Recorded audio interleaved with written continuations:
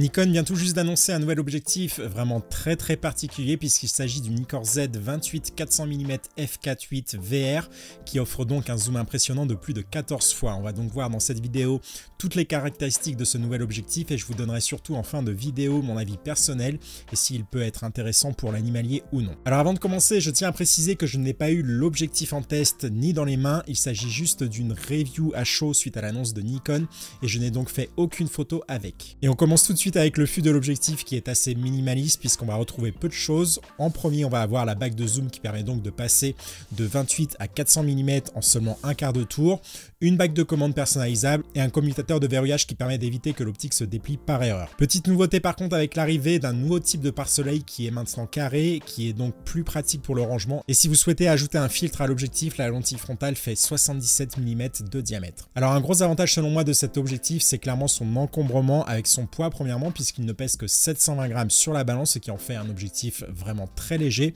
mais surtout avec sa taille puisqu'il est vraiment très petit pour une telle amplitude. Je vous mets une photo d'illustration de l'objectif monté sur un Nikon Z6 II afin de voir les proportions, mais vous pouvez voir que c'est vraiment un combo très compact sur ce type d'appareil. Au niveau de la construction optique, cet objectif possède un diaphragme à 9 lamelles et 21 lentilles séparées en 15 groupes, donc 4 lentilles ED et 3 lentilles asphériques. Nikon annonce une excellente qualité d'image, qu'on soit au grand angle ou au 400 mm avec peu d'aberrations, ou de focus briefing en vidéo. Après, il faudra vraiment tester ça sur le terrain car on n'est pas non plus sur une optique en gamme S et vu la forte amplitude, on peut vraiment se demander naturellement si on est vraiment bon à toutes les focales. Alors je devrais pouvoir tester cet objectif dans les prochaines semaines, donc si vous ne voulez pas rater ma vidéo du test complet, n'oubliez pas de vous abonner à la chaîne pour ne pas la manquer si ce n'est pas encore fait. Mais la grande force de cet objectif, c'est clairement son amplitude qui va donc de 24 à 400 mm, et c'est donc un objectif qui se veut ultra polyvalent. Et les usages devraient vraiment être très nombreux puisqu'on pourra faire avec à peu près tout ce que vous souhaitez, que ce soit du paysage, de la photo de rue, du portrait, du sport ou même commencer à tâter un peu à l'animalier. Et bonne surprise, vous pourrez également découvrir un peu avec le monde de la proxy photo puisque la distance minimale de mise au point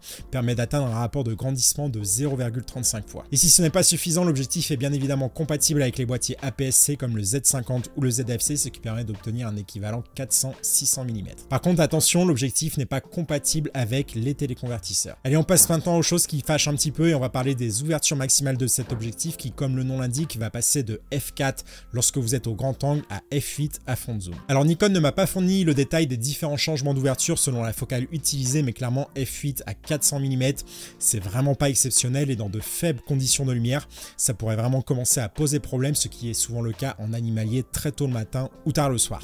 Et pour compenser cette faible ouverture, l'objectif est bien évidemment stabilisé et permet de gagner 5 stops et est surtout compatible avec la Synchro VR qui permet donc de monter jusqu'à 5,5 stops sur les appareils photo compatibles. Et surtout n'oubliez pas le post-traitement qui permet maintenant de supprimer vraiment très facilement le bruit numérique et donc de compenser les faibles ouvertures de ce type. L'autofocus est doté d'un moteur STM pas à pas donc l'objectif devrait bénéficier d'une mise au point rapide et silencieuse mais bien évidemment il faudra tester ça sur le terrain sur des sujets qui bougent beaucoup. Pour finir l'objectif sera disponible 18 avril prochain à un prix TTC de 1549 euros. Alors si vous souhaitez le précommander et soutenir la chaîne, n'hésitez pas à le faire chez mon partenaire ipln.fr avec le code créateur Adrien. Ça me permet de toucher une petite commission sans que cela ne change le prix pour vous et surtout, je vous reverse une partie de cette commission en coupon de réduction sur les formations en ligne si vous utilisez mon code. Je vous mettrai le lien dans la description ainsi que les conditions si cela vous intéresse. Voilà pour le tour général de l'objectif, je vais maintenant vous donner mon avis personnel et est-ce qu'il est surtout intéressant pour l'animalier ou non. Alors bien évidemment, j'attends de l'avoir vraiment dans les mains et de pouvoir photographier avec pour me faire un avis définitif et c'est très difficile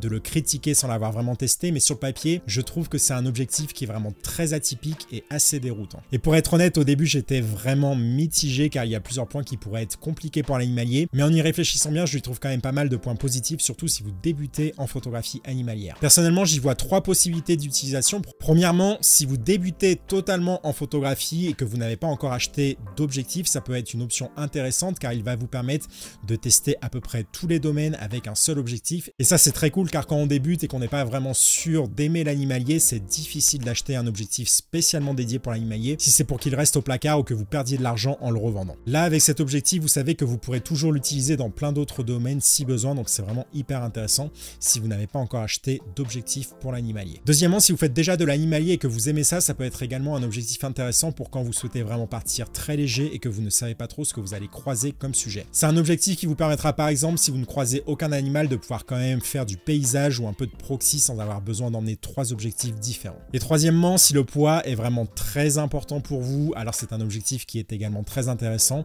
car c'est clairement le téléobjectif à 400 mm le plus léger chez Nikon à un prix encore abordable. Car ses seuls concurrents dans cette gamme de prix sont pour moi le Sigma ou Tamron 156 mm ou bien encore le Nikon Z 186 mm, mais je connais beaucoup de personnes qui auront du mal à porter ce type d'objectif qui va peser plus d'un kilo. Mais attention, si vous voulez en faire votre objectif principal pour l'animalier, c'est pas vraiment fait pour ça et il faudra faire attention à deux choses. Tout d'abord, la focale maximale qui même si elle va jusqu'à 400 mm, personnellement je trouve que c'est quand même un peu court pour beaucoup de sujets en animalier, notamment pour les petits oiseaux. Et deuxièmement, bien évidemment, c'est l'ouverture maximale de f8 à 400 mm avec laquelle vous pourrez quasiment dire adieu aux photos très tôt le matin ou tard le soir, donc c'est quelque chose à prendre en compte pour l'animalier. Personnellement, moi je verrais bien cet objectif comme un objectif secondaire que je vais emmener lorsque je vais par exemple me balader en journée ou pour partir en vacances et que je ne sais pas trop ce que je vais photographier car il offre une polyvalence qui est vraiment très intéressante. En tout cas, je suis très curieux de connaître votre avis sur cet objectif très particulier. Est-ce qu'il pourrait vous intéresser et quels sont selon vous ses points positifs et négatifs? N'hésitez pas à partager tout ça en commentaire. J'ai hâte de vous lire. En attendant, si vous aimeriez progresser en photographie animalière et notamment apporter beaucoup plus de créativité à vos images, vous avez la possibilité de télécharger mes trois guides PDF gratuits qui viennent d'apparaître à l'écran. Et si vous aimeriez découvrir 5 astuces cachées sur votre hybride Nikon, je vous conseille de regarder la vidéo suivante en cliquant juste ici. En tout cas, merci beaucoup d'avoir suivi cet épisode jusqu'au bout et je vous dis à bientôt pour une nouvelle vidéo. Salut YouTube